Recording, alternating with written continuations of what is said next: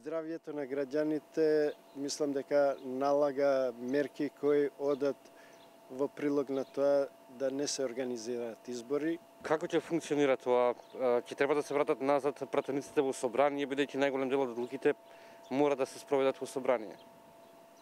Свикување евентуално на, на седница на собрание, која законски е можна, а, ќе зависи од тоа за кој датум ќе се определат политичките партии за организирање на изборите. Ко одлагањето е за период од еден месец, што тогаш?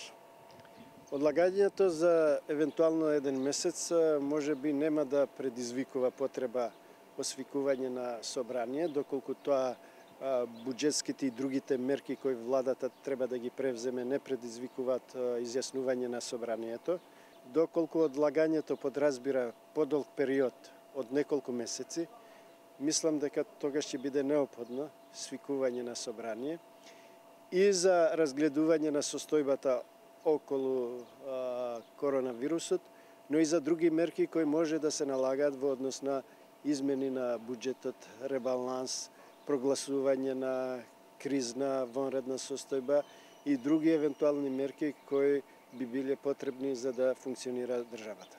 Тоа значи дека треба во континуитет да се следи состојбата моментална и врз основа на тоа да се донесе одлука колка временски период ќе биде евентуалното одлагање на изборите.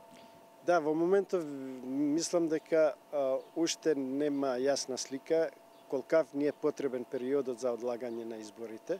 А дали вондрена или кризна состојба е опција потребно да се прогласи? Кризна состојба би била соодветна мерка за да може да се организира животот во, во државата